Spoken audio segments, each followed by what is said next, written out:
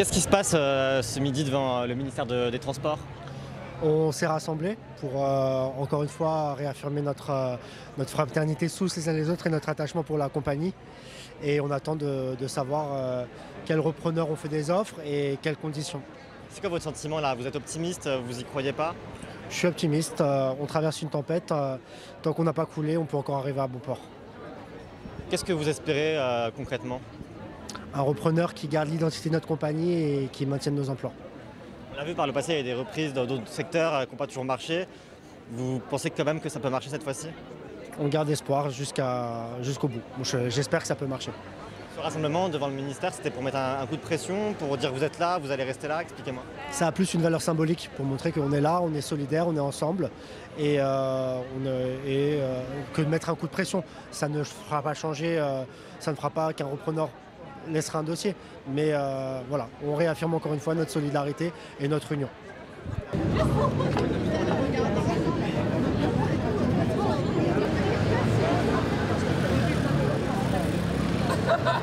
Pourquoi vous êtes ce, matin devant le ministère des Transports Expliquez-moi. Bah, euh, apparemment, euh, Aigle Azur euh, euh, se comporte. euh, c'est c'est pas terrible, quoi. Donc il va falloir.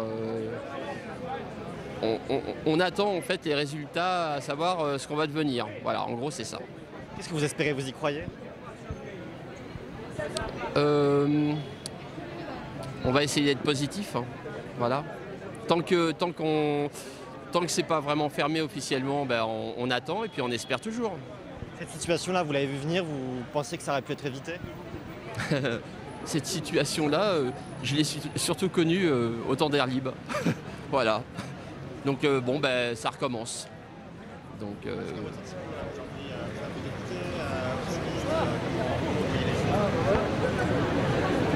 en fait, avant de me plaindre, je préférerais quand même euh, attendre de voir.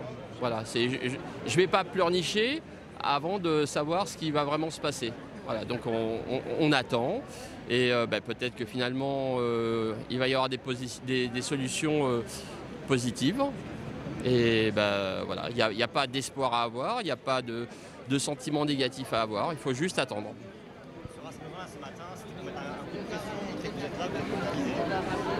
Bah, c'est juste pour euh, dire, euh, c'est juste pour euh, montrer qu'on est là et simplement pour bah, dire qu'on est comme des humains. Il y a un système. Il y a des choses à la Aigle si Aigle euh, coule. Il y a des, euh, des slots à récupérer, il y a des choses à récupérer et et en fait, on voit toujours euh, cette machine euh, de l'économie qui dit bah, tiens, on va se servir. Donc il y a- un petit peu des, des gens à droite à gauche qui, vont, euh, qui font leurs courses, en gros. Et euh, ce qu'on bah, je sais pas, on est. euh, qu'ils fassent leurs courses aussi avec euh, les humains. Ça serait pas mal. Ou sinon. euh, simplifier les choses en trouvant euh, des solutions pour que nous on, puisse toujours voler. On peut toujours insister là-dessus, hein, mais donc je ne me permets pas d'être ni optimiste ni pessimiste. Je suis en, en attente. C'est ce qu'il y a de plus raisonnable. Il n'y a pas besoin d'avoir des hauts et des bas pour, euh, pour avancer. On, on attend, on attend.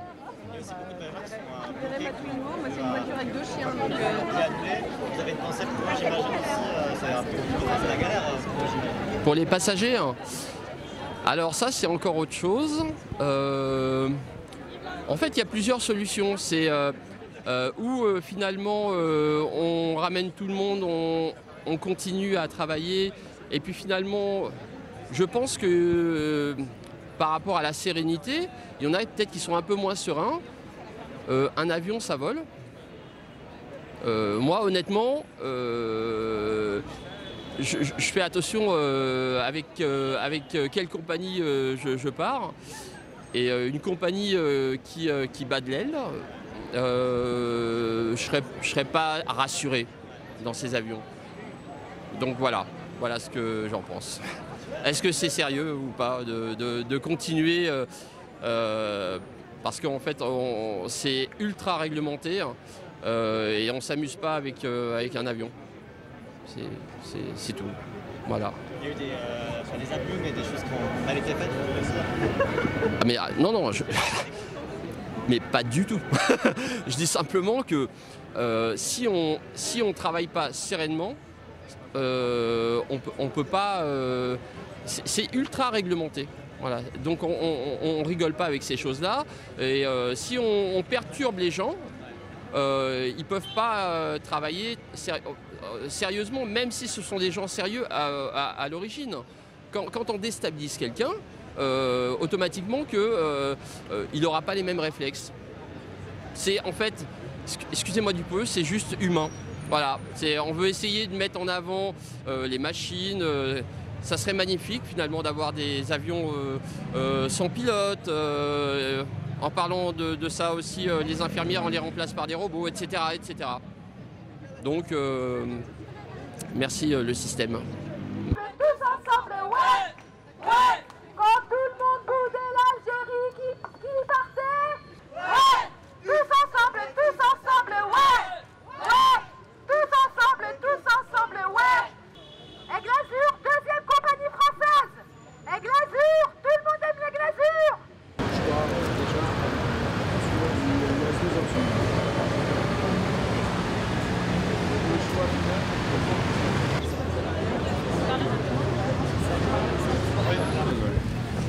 Nous, on a bon espoir quand même qu'il y ait euh, des offres de reprise qui soient, intéressantes, qui pérennisent euh, le modèle des glasures, qui l'aident à se retourner et, à se redévelopper. Donc on, aura une vision beaucoup plus claire au cours de la journée, ou également.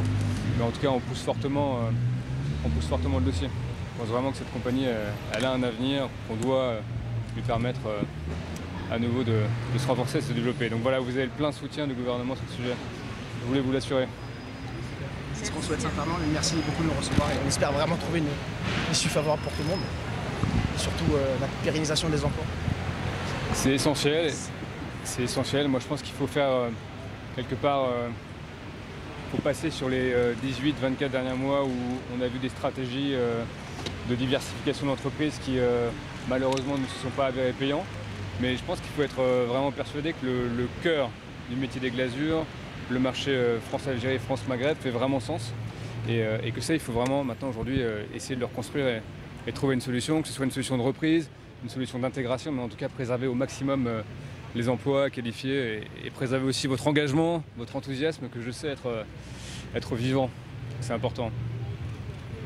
Peut-être qu'on avait prévu de, de se voir avec quelques-uns d'entre vous euh, pour continuer la discussion un, Ouais. un peu plus tranquillement, si ça vous va? C'est vraiment la pré- c'est les emplois. Le plus important pour nous, c'est les emplois. C'est que, c'est que tous les personnels des glasures soient- puissent être repris, que ce soit en intégration, que ce soit euh, un, un repreneur, c'est 1150 personnes. Moi, je crois que c'est les emplois et l'avenir. C'est-à-dire que ce qu'il faut absolument réussir à faire aujourd'hui, c'est de se dire on est dans une situation difficile et il faut construire l'avenir, pas une solution précaire de 3, 4, 5 mois. Il faut vraiment construire l'avenir. Et nous, avec mes collègues de Bercy, vraiment l'attention qu'on aura, c'est de savoir si les offres de reprise qui sont sur la table, elles permettent de construire l'avenir, pas la crise future. Et, et donc vraiment, alors croyez-moi sur l'emploi, on est extrêmement mobilisés, mais on veut offrir une solution pérenne. Et ça, je pense vraiment qu'il faut qu'on l'ait tous euh, euh, à l'esprit et, et vraiment qu'on se donne le maximum d'opportunités sur ce champ-là.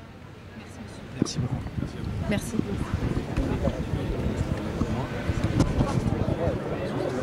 Rencontre avec les salariés euh, des glasures qui sont évidemment inquiets pour, euh, pour leur emploi et c'est bien compréhensible.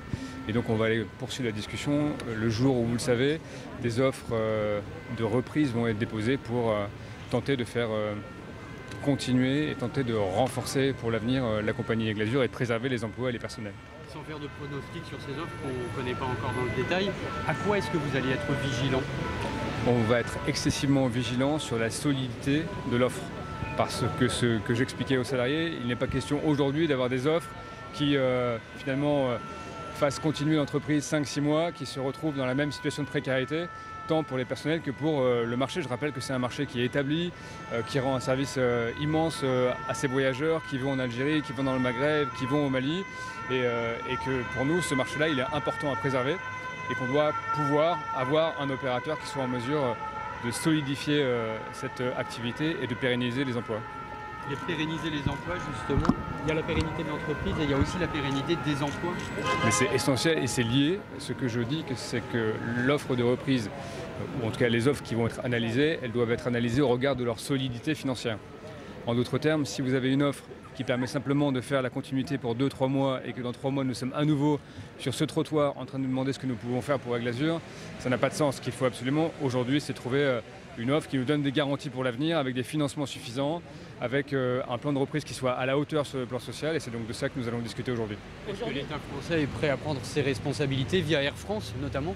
L'État français est absolument prêt à prendre ses responsabilités. Je rappelle que sur le rapatriement, vous l'avez dit, effectivement Air France a joué, a joué le jeu et moi je tiens à saluer les rotations supplémentaires qu'ils ont mis en place, notamment sur Alger et sur Bamako.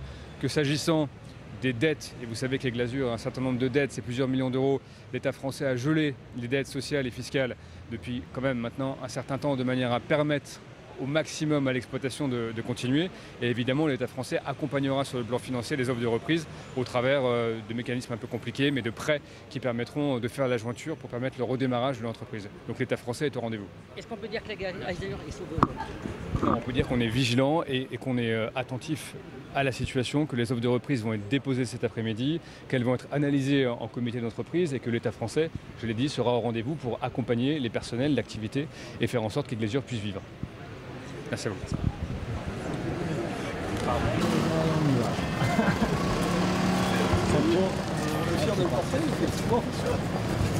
Vous avez bien raison. C'est bien, on espère le porter encore bien, bien longtemps euh, sous les couleurs des glaçures. À l'intérieur, on peut pas sur place les réunions ici, enfin, mobilisation ici, et, Ouais. euh, devant le site des Ouais, on a retardé, c'est vrai. Ouais. là, le- Pardon, excuse-moi. Ouais, c'est bon, c'est bon. Pardon. Hop, allez-y.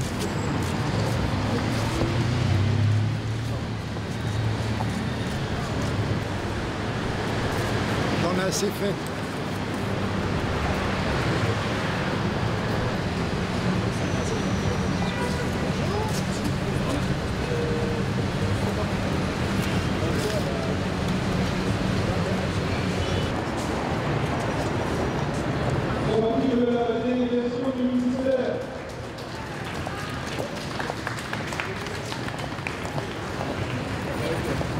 Ah, bête, bête.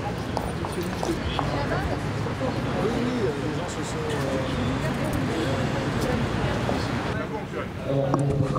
La, la réunion que nous avons eue avec le, le ministère, avec le ministre des Transports, les deux offres principales ont été évoquées pendant toute la réunion. Nous, accéderons aux détails de ces offres cet après-midi pendant la séance du comité d'entreprise extraordinaire. Les repreneurs pourront surenchérir pendant les deux jours qui viennent, donc mardi et mercredi. Et le comité d'entreprise prononcera un avis concernant l'offre qui ira le mieux possible dans l'intérêt de l'entreprise et des salariés mercredi soir. Le tribunal de commerce se prononcera lors d'une audience lundi prochain. Voilà, c'est ce que nous pouvons dire aujourd'hui. Merci à vous.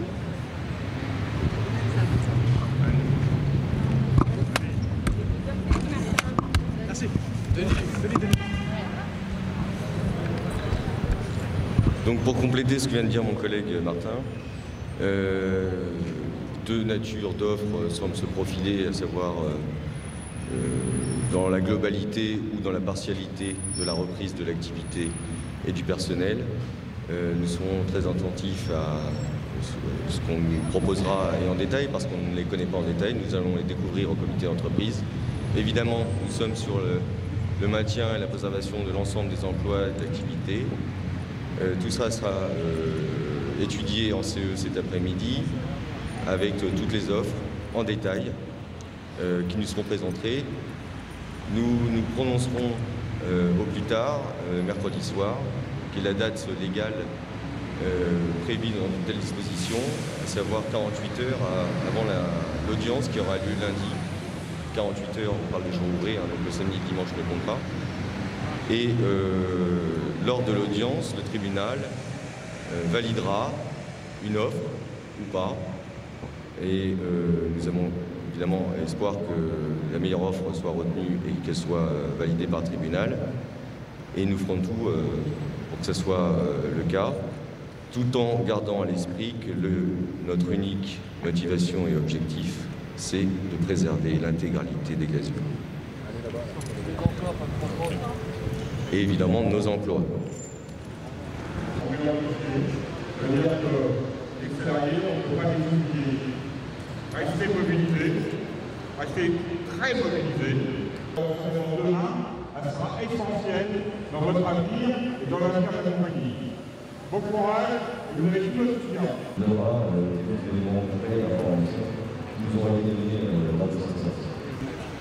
nous écoutez, nous avons été entendus par le secrétaire d'État, Monsieur le ministre, pardon, le protocole l'exige ainsi. Euh, il nous a euh, fait part des informations qu'il avait, avait pardon, qui sont plutôt parcellaires, parce qu'il n'a euh, pas les détails des offres qui ont été, qui ont été faites. Il a, dans les grandes lignes, précisé que deux profils d'offres, deux natures d'offres ressortaient du lot pour le moment, bien qu'il y en ait d'autres qui seraient à venir, mais il ne les connaît pas en l'état. L'une serait de- dans la globalité, de reprendre euh, l'activité, le personnel dans la globalité, et l'autre serait euh, partielle. Voilà. Hein, Il y a deux possibilités euh, qui, se, qui se présentent là et qui se profilent immédiatement. Est-ce que vous avez des noms de repreneurs? Non, pour le moment, rien n'est défini. Et justement, il est resté très discret à ce sujet, puisque c'est à l'administrateur judiciaire que nous allons rencontrer et qui va présider le comité d'entreprise, cette séance extraordinaire qui a lieu, et je vais y aller euh, instamment, euh, cet après-midi. Et c'est à elle de présenter les offres, le nom des repreneurs, le détail de ces offres et euh, potentiellement d'établir un calendrier. Parce que ce qui nous a été dit, c'est que le- valablement, les repreneurs ont déposé leur offre et ils ont jusqu'à mercredi soir pour les parfaire. Hein, une sorte de surenchère qui, si elle avait lieu, euh, ne se ferait que euh, vers le haut. C'est-à-dire qu'une surenchère euh, vers le haut et non, et non vers le bas. Donc tout ça c'est très bien, il nous faut savoir quelle est la base, quel est le détail de l'offre exactement. Et ça on en saura plus tout à l'heure au comité d'entreprise. Est-ce que vous avez sensation d'avoir été écouté pour le moment? Oui, tout à fait. Ce, ce- ce- ce ministre, jeune ministre, est à l'écoute. Il n'y a aucun problème. Et euh, nous avons défendu euh, euh, notre souhait, qui est le, le- le principal, hein, c'est-à-dire de maintenir l'intégrité des salariés et des emplois. Se- Selon RTL, Air France aurait déposé euh, une offre de reprise. Est-ce que pour vous, c'est un gage de confiance pour la suite? Alors, je reviens sur ce que je disais. Euh, Le gage de confiance pour moi, ça sera une compagnie qui a la solidité, qui est assise, euh, avec une capacité financière, structurelle et opérationnelle, pour euh, valablement qu'on puisse envisager d'avoir un avenir, et je parle euh, du personnel, et d'avoir un emploi demain.